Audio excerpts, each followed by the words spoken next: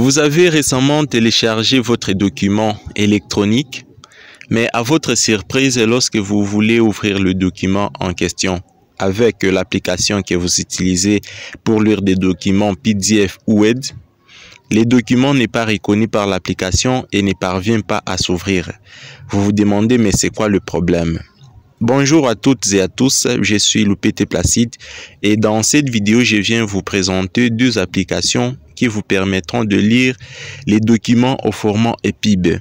Alors si on peut parcourir ensemble pour voir c'est quoi exactement EPUB, avec Wikipédia, Wikipédia nous dit que EPUB c'est un format ou un, un acronyme de Electronic Publication. En français, on peut dire que c'est publication électronique. C'est typographié par EPUB. C'est un format ouvert standardisé pour les livres numériques. Vous comprenez? Alors, ces genres de formats, parfois le, les applications que nous utilisons pour lire le, les fichiers PDF, ces genres de formats et pub ne sont pas pris en charge. Chers amis, je viens vous présenter deux applications ici. Mais avant d'y arriver, n'hésitez pas d'abord à vous abonner si ce n'est pas encore fait activez la cloche de notification pour ne rien rater de nos nouvelles publications. La première application, ça se trouve sur le Play Store. L'application est nommée Read Area, lecteur des livres PDF et pub et WED. Donc avec cette même application, nous aurons la possibilité de lire nos fichiers PDF, nos fichiers EPUB, mais aussi nos fichiers WED. Moi, j'avais déjà téléchargé l'application. Si ce n'est pas fait pour vous, vous pouvez déjà télécharger. Le nom de l'application est là. Après avoir téléchargé, vous cliquez sur Ouvrir. Euh, l'application va s'ouvrir et vous présente tout ce que vous avez comme, comme, le, comme livre. Mais, je m'excuse, euh, moi, j'avais déjà paramétré l'application. Laisse-moi de supprimer les données de l'application pour que nous puissions commencer ensemble avec vous et voyons comment cette application se présente. Donc, je vais aller dans mon gestionnaire des applications juste pour supprimer les données de l'application et utiliser de nouveau l'application comme si je viens à peine de de la télécharger. Donc, euh, soyez patient et je m'excuse pour ces, temps que je viens de, vous prendre pour la suppression de les données de cette application. Parce que si on ne le fait pas ensemble, peut-être que vous n'allez pas vous retrouver facilement. Hmm. L'application se trouve. Voilà. Read Area. Je vais aller sur stockage. Et puis, je vais d'abord vider les caches. Et ensuite, je supprime les données des applications.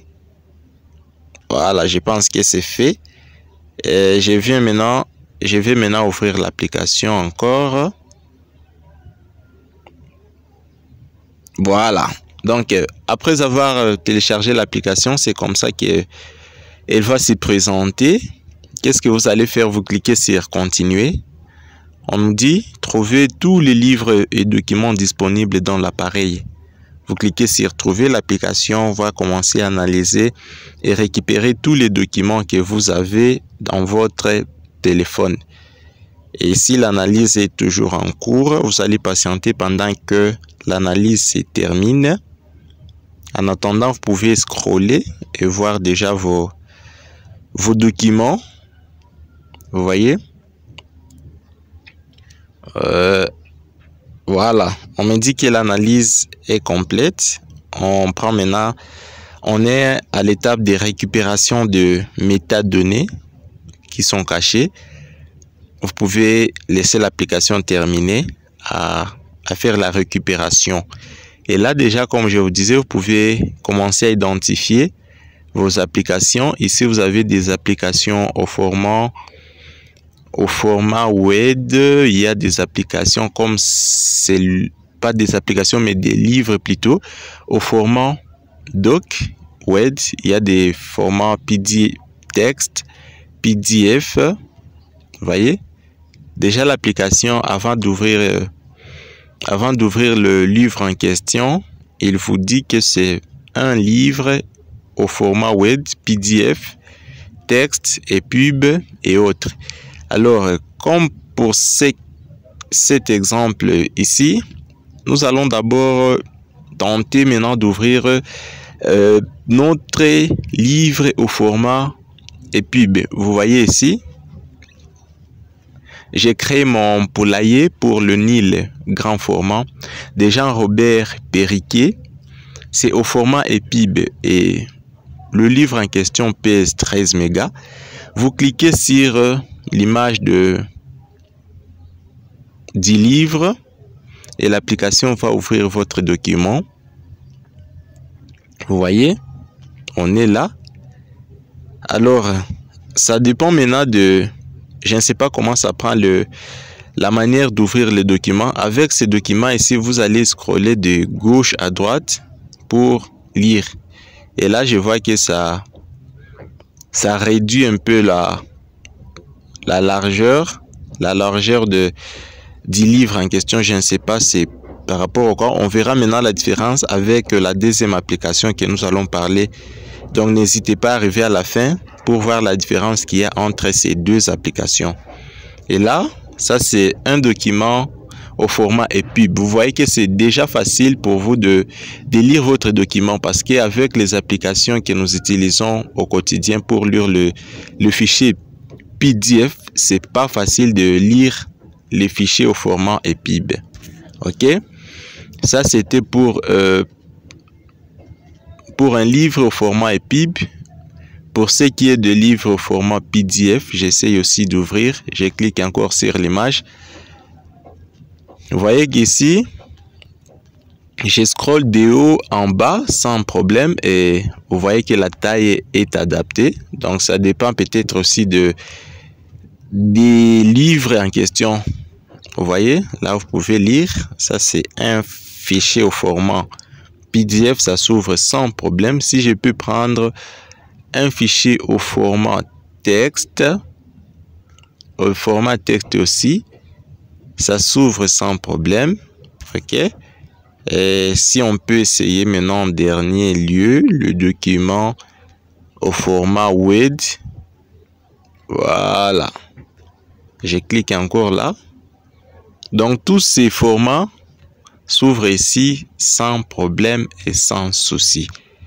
Et là, avec l'avancée maintenant de l'application, en cliquant sur les trois points, vous pouvez déjà regarder là où vous en êtes, donc vos lectures en cours, les fichiers que vous venez d'ouvrir récemment.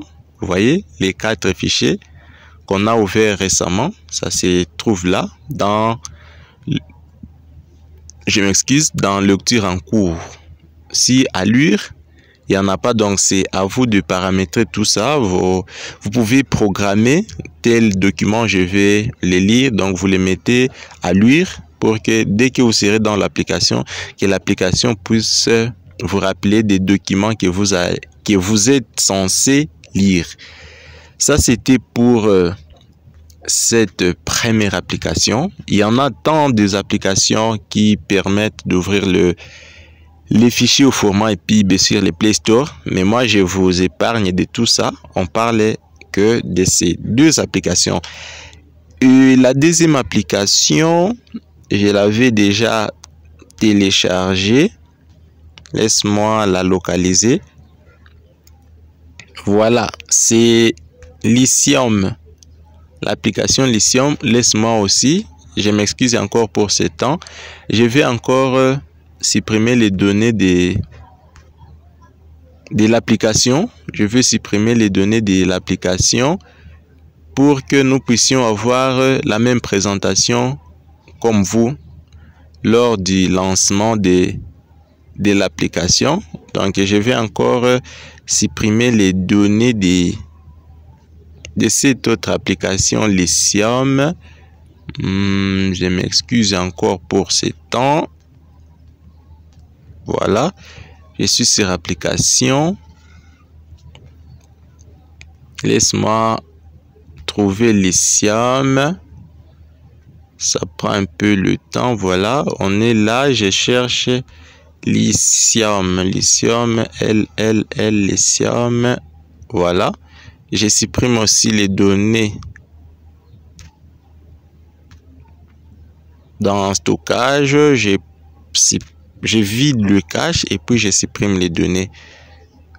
Voilà, comme c'est fait, je peux alors relancer l'application Lithium.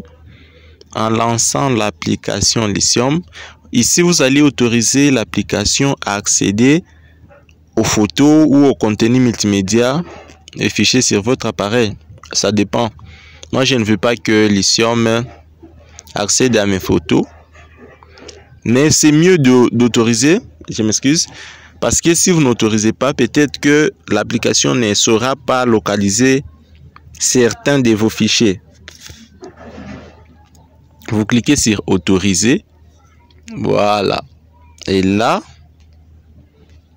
l'application, ici, ça récupère certains documents qu'il a trouvés, mais au format EPIB. Vous voyez? Différemment de la première application, avec Lithium, ici vous n'avez qu'à ouvrir directement les documents au format EPIB. Donc l'application Lithium, elle, contrairement à la première application que nous avons vue, elle identifie directement les fichiers que vous avez au format EPIB. Et là, comme ça revient encore, j'ai créé mon poulailler. Si je clique sur ça, vous voyez, ici ça s'ouvre mais le contenu, comme vous allez voir, le contenu est un peu lisible par rapport à la première application. Donc, ça dépend maintenant de spécificité de, de chaque application. Vous voyez, avec ça, je peux lire, je peux lire facilement le, le document.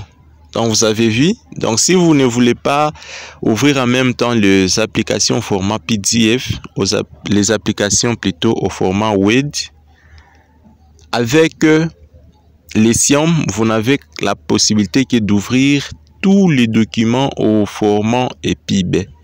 Donc, c'était un peu ça la petite différence qu'il y a entre les applications. Donc, c'est à vous de faire les choix. Mais pour ce qui est de mon choix, moi je préfère utiliser la première application. La première application ici. Parce que elle et elle me permet d'ouvrir en même temps beaucoup de fichiers. Donc le choix reste à vous. Chers amis, j'espère que vous avez aimé la vidéo. C'était ça par rapport euh, aux deux applications qui nous permettent d'ouvrir le document électronique au format EPIB. Si vous avez aimé la vidéo, n'hésitez pas à vous abonner à notre chaîne, partager, activer la cloche de notification. Surtout, laisse-nous un gros pouce bleu, ça me fera plaisir. Et pour cela, je vous dis à très bientôt pour une autre série de vidéos. Surtout, portez-vous bien.